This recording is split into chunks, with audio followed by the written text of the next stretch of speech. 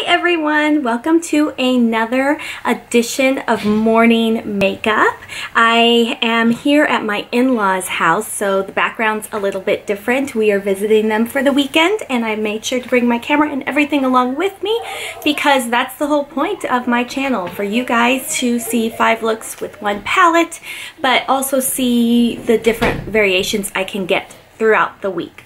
So I did film this look today, this morning. It's Sunday morning and I went to see the poppies. There's lots of poppies down in um, Lake Elsinore in California and poppies are my favorite flowers. I love them so much. I just think they're beautiful, all varieties of poppies. And so I asked my friend if she would do a little photo shoot with me. Um, not me taking the photos, although that would be really awesome too, but um, to have photos of me with the poppies. it was quite fun. And um, I hope we got some great shots. I'm sure we did. She's a great photographer down in Temecula. So I'm very excited to see those. But I filmed myself getting ready yesterday, early, early morning, because we went out, we met at 7 to make sure we were there before it got too crowded.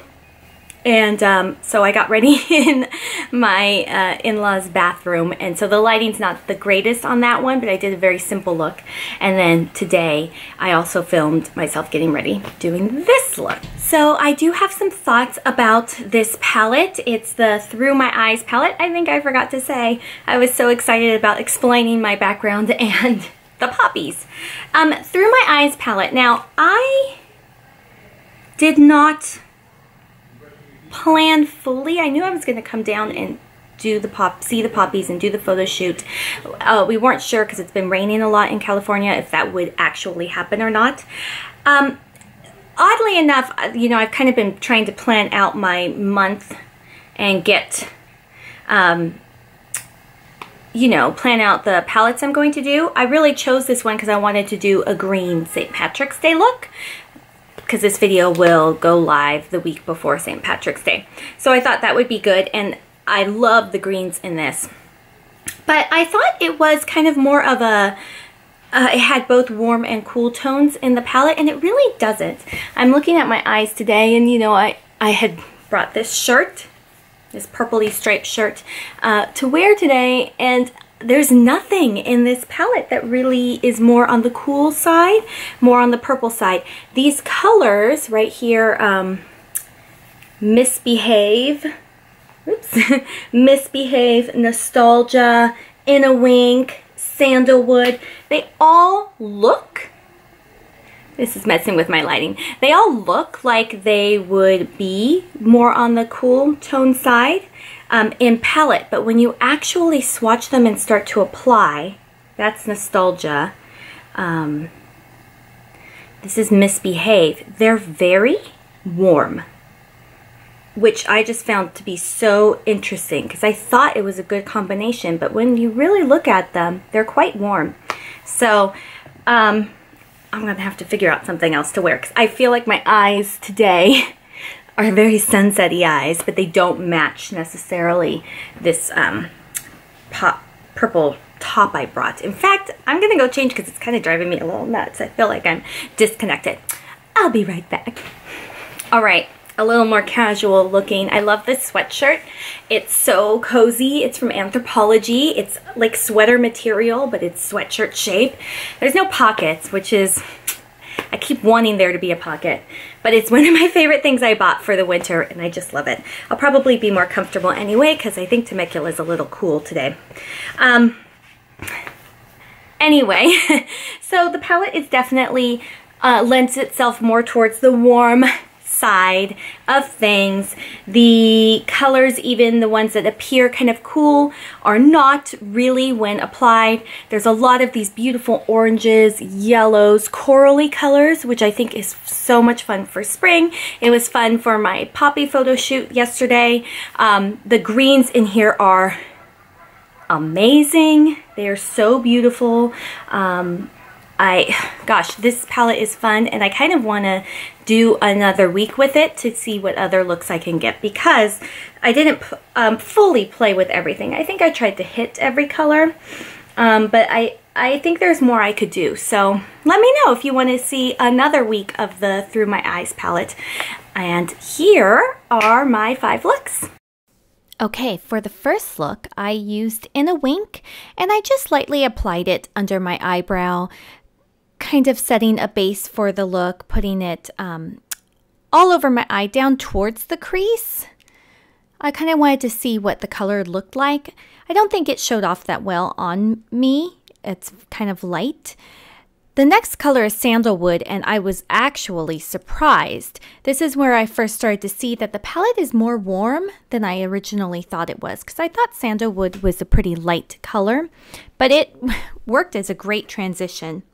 Next was Canela. It's a brown, but it has these really pretty gold flecks in it. Um, and so because the gold is kind of subtle, I thought it would still work in the crease, and it did. The gold almost kind of disappears. It's just a spray of gold. And then I used Flex, which is the name of the color. It's shimmery. It definitely has some glitter in it, um, but it applies really nicely. Super pigmented with great color payoff. And lastly, Muse went just kind of lightly in the inner corner towards the center, just giving a bit of a transition, some dimension to the look. And I always go back in and blend and clean up. And just a nice, pretty neutral look for the first day. Day two, I really wanted to play with Wild Soul, the yellow color in the palette. So I started off pretty bold, using it as a transition shade from the crease up toward the eyebrow, um, blending it over and over and just dipping back into the pan to see how far I could take it. And then Nostalgia sometimes is peachy looking to me and sometimes is more brown. Um, in the in the pan, it really kind of looks brown, but then when I apply it, it ended up looking really peachy.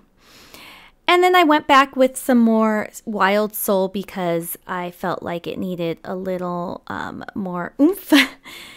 and because I was already headed in this orange direction, I then took Euphoric, which is a matte orange color um, much brighter and deeper than Nostalgia, which is more toward the pink peach side.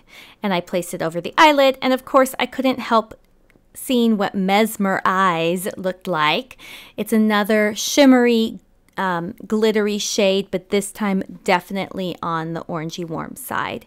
And I just put it over my eyelids. And then I felt like I needed a little subtle blending up under the brows, so I used Lucido, Lucido, which is a shimmery shade. Okay, so on day three, I went in with sandalwood again. I knew I was going to be playing with the green colors. I was very excited to try them out. So I just wanted a light neutral shade as a transition, kind of as a little base. Um, I also wanted to see what Divina looked like, and I thought it would make a good crease color to go with the green. And I think it did. It was nice. It's not what I was expecting. Like I said, this palette tends towards the warm side. At least on me, it does. And so, um, Divina was just a little hard to get any real payoff. I think it worked because it ended up blending out nicely and it was light. And then the green, I really wanted to make it a bold color. So once again, I'm still working on this kind of cut crease, but also just wanted to put put a good base for the green. Um, I'm using Moody to start with, which is a matte green shade. It's a deep shade in pan, but you can see it's not very deep on the eyelid and it's patchy. There is no denying it. In fact, I got a little frustrated, so I stopped. I went back in to deepen up Divina to see if I could get that to pay off a little bit more. I think between the two, these two matte shades, the darkest shades in the palette, are just hard to work with. You can see I went back and forth a bunch of times. Now, I knew I was going to use Emerald Dream, the gold, I mean, sorry, the shimmery shade all along. And it just really worked um, to even everything out. It brightened up the green um, and turned out really nicely in the end. Um, I then couldn't resist using a little of that Lucido shade. And you will see here, I then made a mistake. So I started out with Lucido and forgot, I don't know, ended up using Mesmerize and it turned into more of a brighter gold than I wanted, but it it ended up being all pulled together. I used the new ColourPop eyeliner. I have the blue one and the green one, and this blue is beautiful. And so I think I ended up with some really pretty peacock eyes, which I'm not sad about. I love peacocks.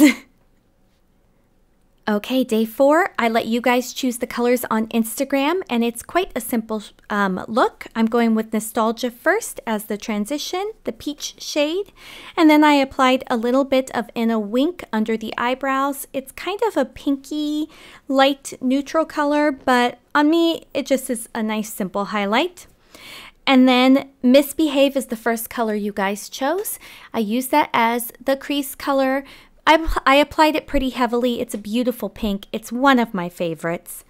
And then I added a tiny bit of um, Divina just over the eyelid. I wanted to deepen up the second color you guys chose, which is Nocturne, a shimmery pink color, which is then what I applied over to kind of give the look its final hurrah.